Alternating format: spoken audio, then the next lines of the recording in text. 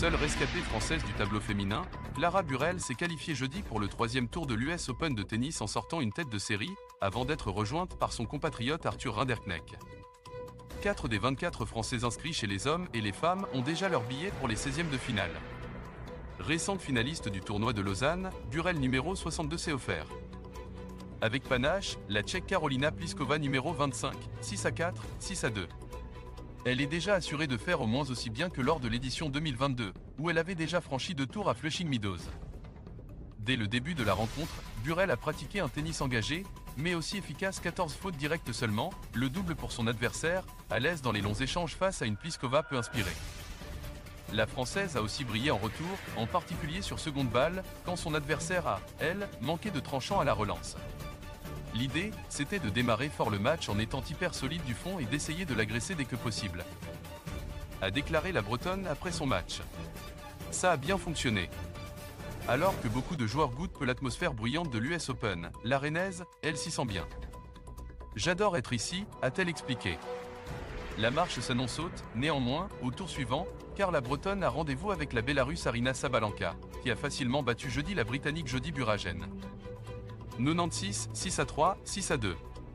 Sabalenka a atteint, au minimum, les demi-finales lors de ses quatre dernières sorties en Grand Chelem, avec une victoire à l'Open d'Australie. J'ai hâte de la retrouver au même stade de la compétition que l'an dernier à l'US Open défaite 6 à 0. 6 à 2, a commenté la Française. J'arrive un peu plus fraîche, elle avait eu à disputer trois tours de qualification l'an dernier, avec un jeu un peu plus clair. Chez les hommes, Arthur Rinderknecht, 73e joueur mondial, a lui aussi rejoint le troisième tour, en bénéficiant de l'abandon sur blessure de l'Italien Matteo Berrettini 36e, qui s'est tordu la cheville droite dans le deuxième set.